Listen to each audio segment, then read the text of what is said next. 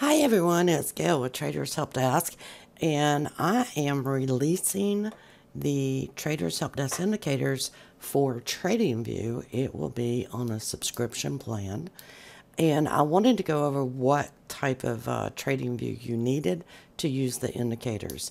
Now you can see that TradingView actually offers a monthly subscription, one year and two years.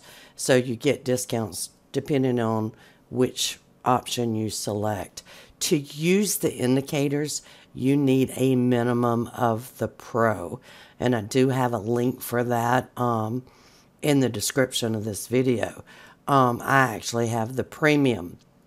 Now, here's the difference. With the Pro, you can have up to four charts per tab, and you can also have two devices connected at any one time. But additionally, under the Pro, you can have 10 indicators uh, minimum, and that's the Pro Plus, not the Pro.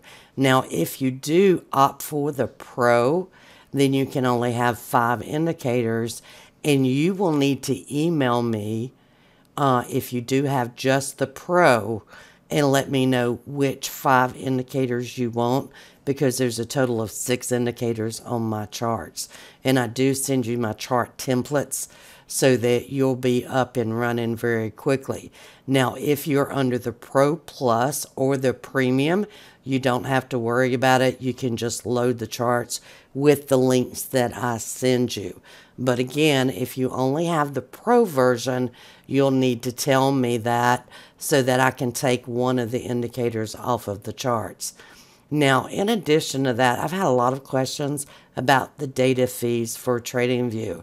If you are trading Forex, the Forex is free, but otherwise, you'll have to pay, like for futures or for international, you'll need to pay fees for that. Again, they do offer two years, one year, and monthly.